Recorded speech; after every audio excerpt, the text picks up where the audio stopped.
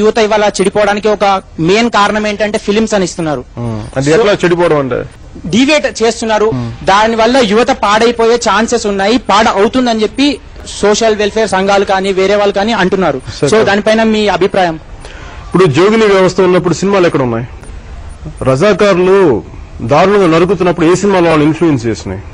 ఇవంతా ఏంటంటే అరాకొర జ్ఞానంతో మాట్లాడే విషయాలు. సంపూర్ణంగా అర్థం చేసుకుంటే ఏ సమస్య ఉండదు. ఇప్పుడు సినిమాల్లో నేను వంద విషయాలు చెప్తాను. మంచి తీసుకొని చెడు వదిలేయచ్చు కదా.